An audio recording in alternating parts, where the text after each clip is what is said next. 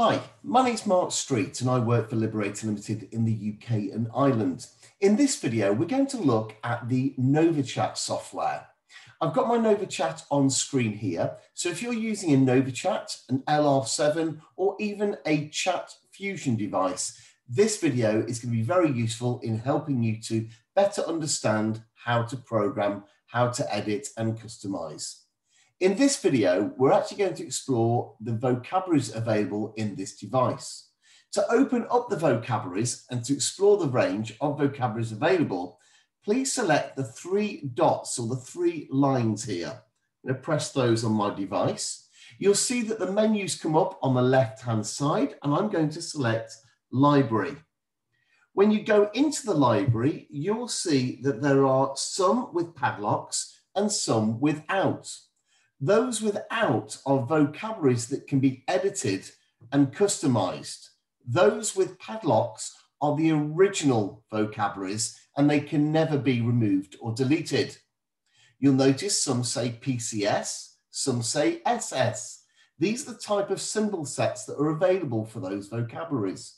Communication journey aphasia, PCS, or communication journey aphasia, SS. That's SymbolStix. These PCS ones, I'm going to select open. And if you look at that, you'll see that's containing PCS vocabularies or symbols. However, this is a locked version, so I can't edit. If I go into the menu and select edit mode, notice it says this is an original vocabulary and cannot be edited. Would you like to make a duplicate for editing?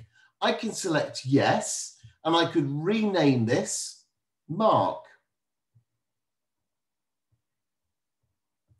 and select save.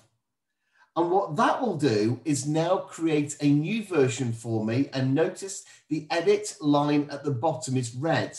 If I now select menu and edit mode, it will come out of edit mode. If I go back into the menu and select library, you'll see that I'm currently in communication journey aphasia PCS dash mark with a green tick on it. What that means is that can be fully customized and edited. If I also hold down that, you'll see I've got the option to open that vocabulary, to duplicate it, to rename it, or even delete it. So I can delete a vocabulary that is customizable or edited However, I can't delete anything with a padlock in there. I hope this is useful and please explore our range of other videos to look at all the other options available for programming the NovaChat software. Thanks for watching.